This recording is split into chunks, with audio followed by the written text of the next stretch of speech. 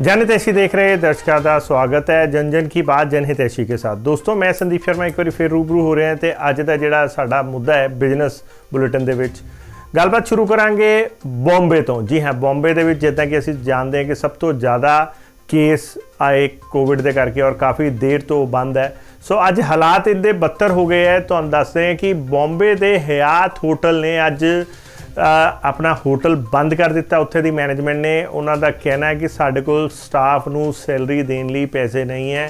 ਸੋ ਅਗਲੇ ਆਦੇਸ਼ਾਂ ਤੱਕ ਬੰਬੇ ਦਾ ਹਯਾਤ ਹੋਟਲ ਬੰਦ ਹੈ। ਜੀ ਹਾਂ, ਕਿੱਡੀ ਵੱਡੀ ਗੱਲ ਹੈ ਕਿ ਹਯਾਤ ਹੋਟਲ ਜਿਹੜਾ ਕਿ ਇੱਕ ਫਰੈਂਚਾਈਜ਼ੀ ਮਾਡਲ ਤੇ ਚੱਲਦੇ ਹਯਾਤ, ਕਿੰਨਾ ਪ੍ਰੀਮੀਅਮ ਜਾਂਦਾ ਇੱਕ ਫਰੈਂਚਾਈਜ਼ੀ ਦਾ। ਸੋ ਇਹ ਜਿਹਾ ਬੰਬੇ ਵਰਗਾ ਜਿਹੜਾ ਆਰਥਿਕ ਕੈਪੀਟਲ ਹੈ, ਬੰਬੇ ਪੂਰੇ ਦੇਸ਼ ਦੀ, ਉੱਥੇ ਹਯਾਤ ਹੋਟਲ ਬੰਦ ਹੋ ਗਿਆ। ਜਸਟ ਕਿ ਉੱਥੇ ਦੇ ਮੈਨੇਜਮੈਂਟ ਦਾ ਕਹਿਣਾ ਹੈਗਾ ਕਿ ਸਾਡੇ ਕੋਲ ਸਟਾਫ ਨੂੰ ਦੇਣ ਲਈ ਸੈਲਰੀ ਨਹੀਂ ਹੈ। ਬਹੁਤ ਘਾਟਾ ਪੈ ਰਿਹਾ ਹੈ ਕਿਉਂਕਿ ਕੋਵਿਡ ਦੇ ਕਰਕੇ ਲਾਕਡਾਊਨ ਹੈ ਔਰ ਆਣਾ ਜਾਣਾ ਨਹੀਂ ਹੈ ਸੈਲਾਨੀਆਂ ਦਾ, ਜਿਹਦੇ ਕਰਕੇ ਬੰਬੇ ਦਾ ਹਯਾਤ ਹੋਟਲ ਬੰਦ ਹੋ ਗਿਆ ਹੈ। ਅੱਜ ਮੰਗਲਵਾਰ 8 ਜੂਨ ਤੋਂ ਉਹਨਾਂ ਨੇ ਇਹਨੂੰ ਬੰਦ ਕਰਨ ਦੀ ਘੋਸ਼ਣਾ ਕਰ ਦਿੱਤੀ ਹੈ। ਸਾਰਾ ਜਿਹੜੀ ਸਰਵਿਸਿਜ਼ ਬੰਦ ਕਰ ਦਿੱਤੀਆਂ ਤੇ ਉਹਨਾਂ ਨੇ ਕਿਹਾ ਕਿ ਅਗਲੇ ਹੁਕਮਾਂ ਤੱਕ ਬੰਬੇ ਦਾ ਹਯਾਤ ਹੋਟਲ ਬੰਦ ਰਹੇਗਾ ਫਿਲਹਾਲ। ਇਹਦੇ ਨਾਲ ਹੀ ਗੱਲ ਕਰੀਏ ਤਾਂ ਗਰਮੀਆਂ ਦਾ ਸੀਜ਼ਨ ਹੈ। ਗਰਮੀਆਂ ਦੇ ਵਿੱਚ ਕੂਲਰ, ਪੱਖੇ, ਇਹਦੀ ਅਸੀਂ ਗੱਲ ਕਰਦੇ ਹਾਂ। ਕੂਲਰ ਪੰਖਿਆਂ ਦੀ ਗੱਲ ਕਰੀਏ ਪੀਕ ਸੀਜ਼ਨ ਦੇ ਵਿੱਚ ਵੀ ਕੂਲਰ ਪੰਖੇ ਜਿਹੜੇ ਹੈਗੇ ਆ, ਜ਼ਿਆਦਾ ਰਾਹਤ ਨਹੀਂ ਦੇ ਪਾ ਰਹੇ ਲੋਕਾਂ ਨੂੰ ਕਿਉਂਕਿ ਲੋਕਾਂ ਨੂੰ ਕੂਲਰ ਤੇ ਪੰਖੇ ਜਿਹੜੇ ਹੈਗੇ ਆ ਰॉ ਮਟੀਰੀਅਲ ਜਿੱਦਾਂ ਕਿ ਪਿੱਛੇ ਅਸੀਂ ਦੇਖਿਆ ਸੀ ਵੱਧ ਗਿਆ, ਇਹਨਾਂ ਦੀ ਕੀਮਤਾਂ 35% ਤੱਕ ਵੱਧ ਗਈਆਂ ਹੈਗੀਆਂ। ਜੀ ਹਾਂ, ਇੱਕ ਪਾਸੇ ਦੁਕਾਨਦਾਰ ਜੇ ਅਸੀਂ ਗੱਲ ਕਰੀਏ ਤਾਂ ਲੁਧਿਆਣਾ ਇਲੈਕਟ੍ਰਿਕ ਮਰਚੈਂਟ ਐਸੋਸੀਏਸ਼ਨ ਜਿਹੜੀ ਹੈਗੀ ਹੈ, ਉਹਨਾਂ ਦੇ ਜਿਹੜੇ ਜਿਹੜੇ ਹੈਗੇ ਸਾਡੇ ਪਦਾਧਿਕਾਰੀ ਹੈਗੇ ਪ੍ਰਧਾਨ ਹੈਗੇ ਆ, ਹੋਰ ਪਦਾਧਿਕਾਰੀ ਹੈਗੇ ਆ। ਸੋ ਉਹਨਾਂ ਦੇ ਨਾਲ ਅਸੀਂ ਗੱਲ ਕੀਤੀ। ਗੱਲਬਾਤ ਕੀਤੀ ਤੇ ਉਹਦੇ ਵਿੱਚੋਂ ਜੇ ਗੱਲਬਾਤ ਕਰੀਏ ਤੇ ਪਰਮਵੀਰ ਸਿੰਘ ਤੇ ਜਿਹੜੇ ਹੋਰ ਹੈਗੇ ਆ, ਮਨਪ੍ਰੀਤ ਸਿੰਘ ਜੀ ਨੇ, ਉਹਨਾਂ ਨੇ ਦੱਸਿਆ ਕਿ ਵਪਾਰੀ ਜਿਹੜੇ ਹੈਗੇ ਉੱਥੇ ਦੇ ਪਲੱਸ ਐਸੋਸੀਏਸ਼ਨ ਦੇ ਜਿਹੜੇ ਪਦਾਧਿਕਾਰੀ ਵੀ ਹੈਗੇ ਆ, ਉਹਨਾਂ ਨੇ ਦੱਸਿਆ ਕਿ ਇਸ ਟਾਈਮ ਜਿਹੜੇ ਰॉ ਜਿਹੜਾ ਇਸ ਟਾਈਮ ਕੂਲਰ ਤੇ ਪੰਖੇ ਦੀ ਕੀਮਤ 'ਚ ਪਿਛਲੇ 3 ਮਹੀਨਿਆਂ 'ਚ ਲਗਭਗ 30 ਤੋਂ 35% ਦਾ ਇਜ਼ਾਫਾ ਹੋ ਚੁੱਕਾ ਹੈ। ਉਹਨਾਂ ਨੇ ਦੱਸਿਆ ਕਿ ਜਿਹੜਾ ਪੰਖਾ 2 ਮਹੀਨੇ ਪਹਿਲਾਂ ਤੱਕ 1000 ਰੁਪਏ ਦਾ ਸੀ, ਉਹ ਹੁਣ 1250 ਰੁਪਏ ਦੀ ਕਾਸਟ 'ਚ ਪਹੁੰਚ ਚੁੱਕਾ ਹੈ। ਇਦਾਂ ਹੀ ਕੂਲਰ ਦੀ ਵੀ ਗੱਲ ਕਰੀਏ ਤੇ ਉਹਦੇ ਵਿੱਚ ਵੀ 5000 ਵਾਲਾ ਕੂਲਰ ਅੱਜ 6000 5500 ਅਲੱਗ-ਅਲੱਗ ਰੇਂਜ ਦੇ ਵਿੱਚ ਪਹੁੰਚ ਚੁੱਕਾ ਹੈ। ਔਰ ਇਸ ਸਾਰੇ ਦੇ ਵਿੱਚ ਜਿਹੜਾ ਹੈਗਾ, ਬਾਜ਼ਾਰ ਦੇ ਵਿੱਚ ਕਸਟਮਰ ਵੀ ਨਹੀਂ ਹੈ ਕਸਟਮਰ ਡਰਿਆ ਹੋਇਆ ਹੈ। ਔਰ ਕਸਟਮਰ ਦੇ ਡਰੇ ਹੋਣ ਕਰਕੇ ਫਿਲਹਾਲ ਜਿਹੜੇ ਦੁਕਾਨਦਾਰ ਹੈ, ਕਿਉਂਕਿ ਉਹਨਾਂ ਨੇ ਪਹਿਲਾਂ ਖਰੀਦਿਆ ਹੋਇਆ ਸੀਗਾ ਪੁਰਾਣੀ ਪਰਚੇਸ ਤੇ ਹੀ ਵੇਚਣ ਤੇ ਮਜਬੂਰ ਹੈ ਕਿਉਂਕਿ ਕਸਟਮਰ ਪਹਿਲਾਂ ਹੀ ਨਹੀਂ ਆ ਰਿਹਾ। ਸੋ ਜੇ ਇੱਕ ਦੋ ਉਹਨਾਂ ਨੂੰ ਇਹ ਵੀ ਡਰ ਹੈ ਦੁਕਾਨਦਾਰਾਂ ਨੂੰ ਕਿ ਕਿਤੇ ਇਹ ਨਾ ਹੋਵੇ ਕਿ ਜਿੱਦਾਂ ਦਾ ਮੌਸਮ ਵੀ ਹੁਣ ਬਰਸਾਤ ਹੋਣ ਲੱਗ ਪਈ ਹੈ, ਸੋ ਮੌਸਮ ਵੀ ਇਦਾਂ ਦਾ ਨਾ ਹੋ ਜਾਵੇ ਕਿ ਇਹ ਲੋਕਡਾਊਨ ਦੁਬਾਰਾ ਨਾ ਲੱਗ ਜੇ ਸੋ ਉਹਨਾਂ ਨੇ ਜਿਹੜੇ ਹੈਗੇ ਆ ਪੁਰਾਣੀ ਪਰਚੇਸ ਪੁਰਾਣੇ ਰੇਟਾਂ ਤੇ ਹੀ ਕੂਲਰ ਤੇ ਪੰਖੇ ਵਿਕ ਰਹੇ ਪਰ ਜੇ ਅੱਜ ਦੀ ਗੱਲ ਕਰੀਏ ਤੇ ਉਹਨਾਂ ਦਾ ਕਹਿਣਾ ਇਹ ਹੈ ਦੁਕਾਨਦਾਰਾਂ ਦਾ ਕਿ ਰੇਟ ਜਿਹੜੇ ਹੈ 30 ਤੋਂ 35% ਵੱਧ ਚੁੱਕੇ ਹੈ।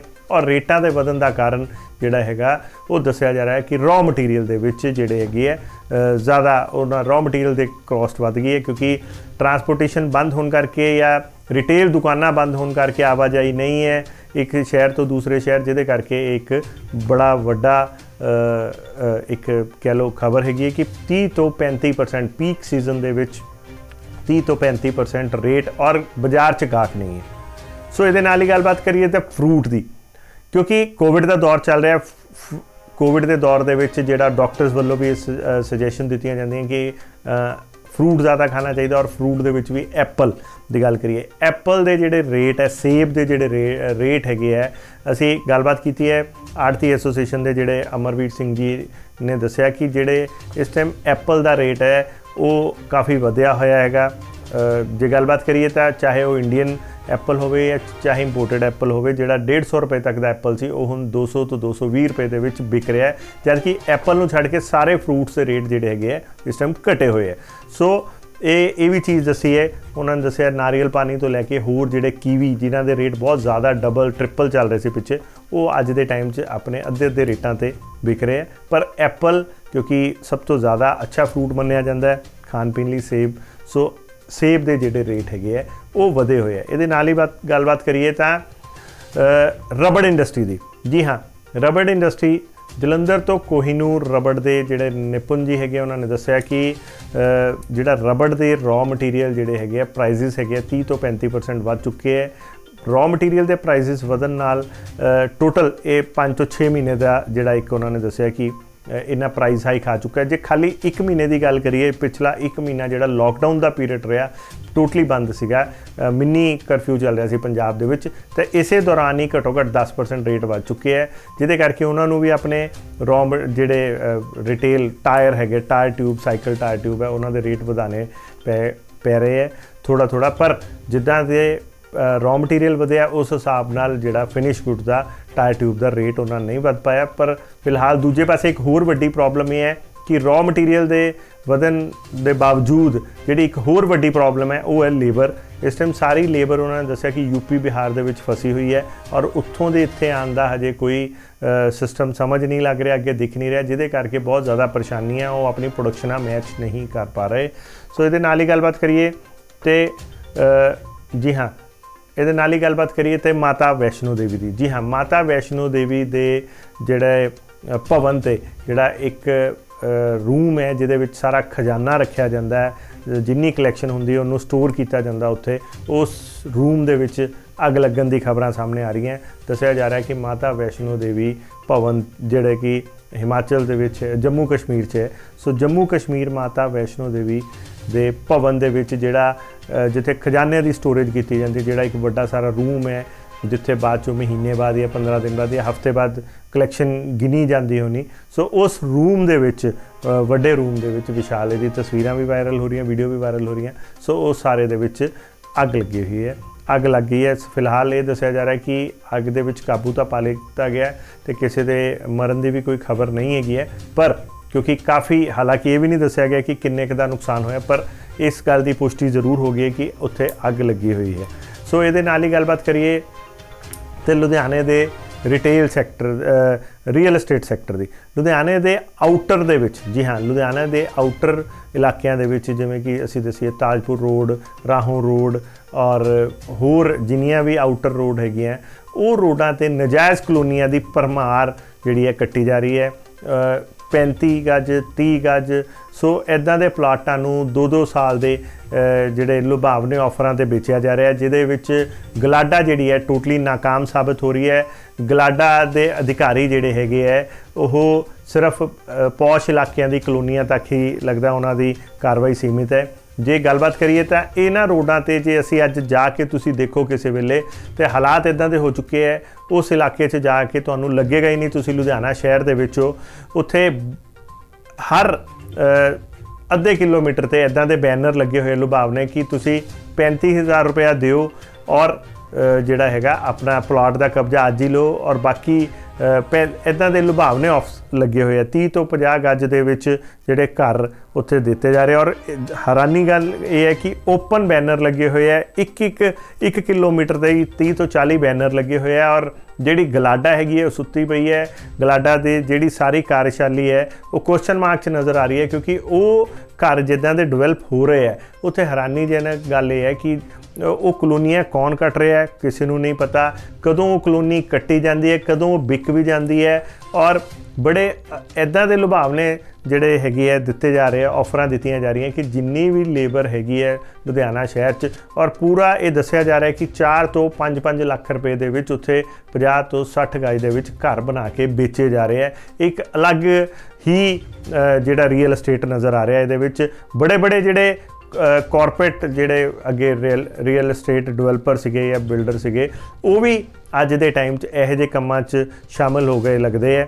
ਬਹੁਤ ਸਾਰੇ ਨਾਮ ਅਸੀਂ ਨਹੀਂ ਬੋਲਾਂਗੇ, ਪਰ ਬਹੁਤ ਸਾਰੀਆਂ ਚੀਜ਼ਾਂ ਜਦੋਂ ਅਸੀਂ ਦੇਖੀਆਂ ਉੱਥੇ ਜਾ ਕੇ, ਤੇ ਜਿਹੜੀ Tajpur road, Tibba road, Rahon road, so Bahadur Ke road ਅੱਗੇ ਅੱਗੇ ਜਾ ਕੇ ਜਿਹੜੇ ਹੈਗੇ ਆ 30 ਤੋਂ ਲੈ ਕੇ 50 ਗੱਜ ਦੇ 50 50 ਗੱਜ ਦੇ 60 60 ਗੱਜ ਦੇ ਜਿਹੜੇ ਪਲਾਟ ਕੱਟੇ ਜਾ ਰਹੇ ਪਲਾਟਿੰਗ ਹੋ ਰਹੀ ਹੈ ਔਰ ਉਹ ਇੱਕ ਅਲੱਗ ਹੀ ਨਵਾਂ ਲੁਧਿਆਣਾ ਬਸ ਚੁੱਕਾ ਹੈ। ਐ ਲੱਗਦਾ ਹੀ ਨਹੀਂ ਕਿ ਅਸੀਂ ਲੁਧਿਆਣਾ ਦੇ ਵਿੱਚ ਹੈਗੇ ਆ ਜਾਂ ਤੁਸੀਂ ਕਦੀ, ਤੁਸੀਂ ਵੀ ਜਾਓਗੇ, ਹੈਰਾਨ ਤੇ ਹੈਰਾਨ ਹੋਣ ਦੀ ਗੱਲ ਨਹੀਂ ਹੈ, ਆਪਣੇ ਮਾਈਂਡ ਸੈਟਅਪ ਨੂੰ ਪਹਿਲਾਂ ਹੀ ਇਦਾਂ ਦਾ ਕਰ ਲਓ ਕਿ ਲੁਧਿਆਣਾ ਸ਼ਹਿਰ ਦੇ ਵਿੱਚ ਜਿਹੜਾ ਇੱਕ ਹੋਰ ਲੁਧਿਆਣਾ ਬਸ ਚੁੱਕਾ ਹੈ।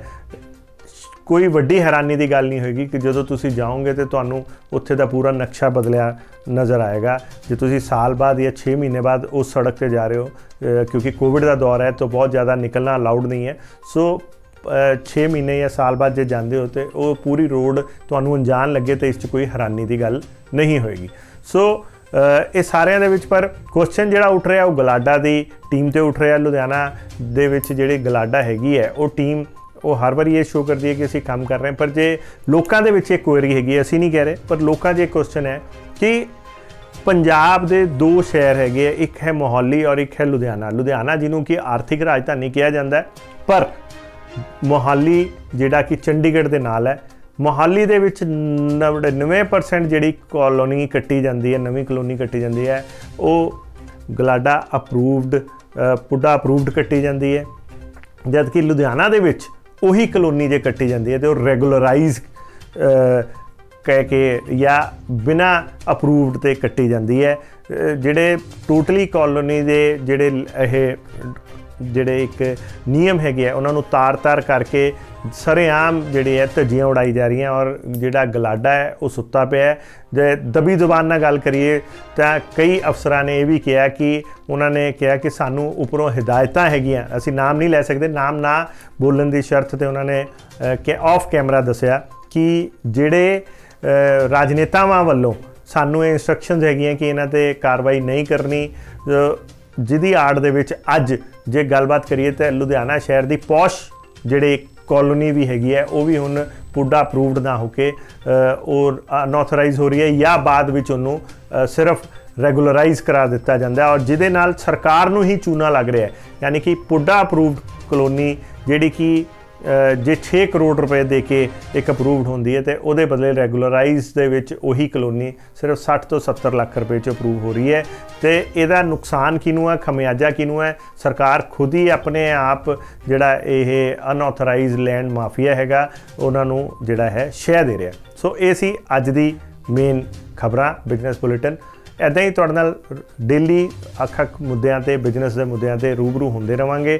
ਜੇ ਤੁਹਾਨੂੰ ਇਹ ਵੀਡੀਓ ਅੱਛੀ ਲੱਗ ਰਹੀ ਹੈ ਤੇ ਇਹਨੂੰ ਜਰੂਰ ਸ਼ੇਅਰ ਕਰੋ। ਔਰ ਜੇ ਤੁਹਾਡੀ ਵੀ ਵਪਾਰ ਸੰਬੰਧੀ ਕੋਈ ਵੀ ਕਿਸੇ ਤਰੀਕੇ ਦੀ ਸਮੱਸਿਆਵਾਂ ਹੈਗੀਆਂ ਤੇ ਉਹਨੂੰ ਜ਼ਰੂਰ ਸਾਡੇ ਕਮੈਂਟ ਸੈਕਸ਼ਨ 'ਚ ਜਾਂ ਸਾਡੇ ਨਾਲ ਜਿਹੜੇ WhatsApp ਨੰਬਰ ਤੇ ਜਾਂ ਸਾਨੂੰ ਮੇਲ ਦੇ ਥਰੂ ਜ਼ਰੂਰ ਭੇਜੋ। ਅਸੀਂ ਉਹਨਾਂ ਮੁੱਦਿਆਂ ਨੂੰ ਵੀ ਇੱਥੇ ਪਬਲਿਕ ਦੇ ਅੱਗੇ ਜਾਂ ਪ੍ਰਸ਼ਾਸਨ ਦੇ ਅੱਗੇ ਚੱਕਦੇ ਰਵਾਂਗੇ। ਦੇਖਦੇ ਰਹੋ ਬਨੇ ਰਹੋ। ਜਨ ਜਨਹਿਤੈਸ਼ੀ ਧੰਨਵਾਦ।